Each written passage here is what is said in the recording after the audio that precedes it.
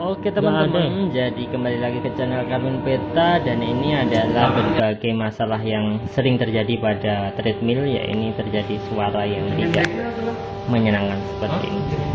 Enggak-enggak seperti ini suaranya. Mari kita dengarkan bareng-bareng dulu. Iya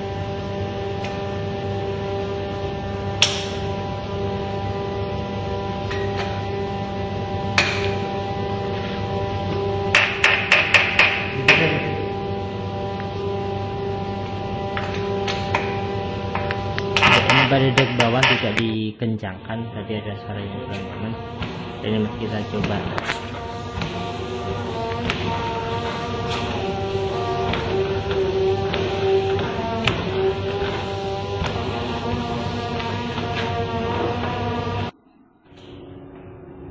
Ya kita udah melumasi pakai loop loop and walk seperti pada video saya beberapa waktu yang lalu tapi masih belum mendapat posisi yang sempurna jadi akan kita setting posisi kekenjangan daripada beltnya ini.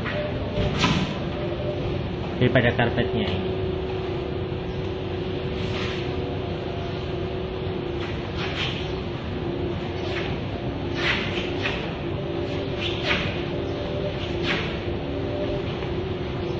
ya, jadi untuk menyetingnya dari tutupan kanan kiri dibuka dan belakang ada settingan dengan kunci L ya.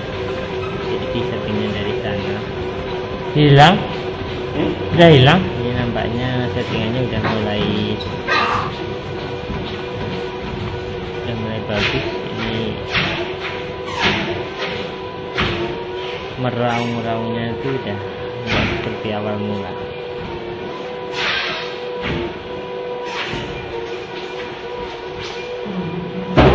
Wis,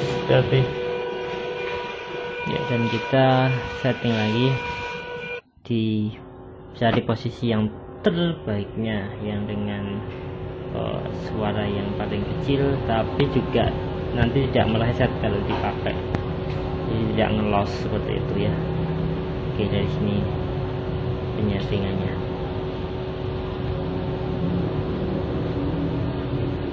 oke dan setelah dapat kondisi terbaik habis ini lalu kita uh, pasang.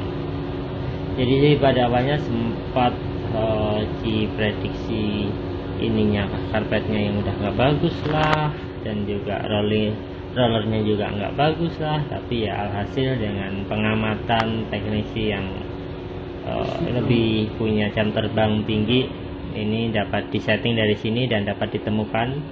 Dan akhirnya e, dicoba dengan hasil suara yang sangat minim.